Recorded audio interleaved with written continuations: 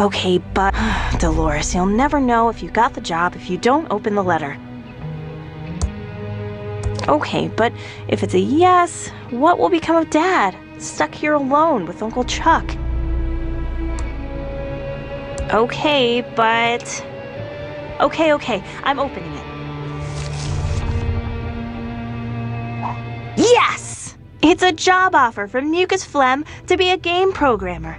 I'm so excited! Can't wait to tell Uncle Chuck. He'll be so proud. But first.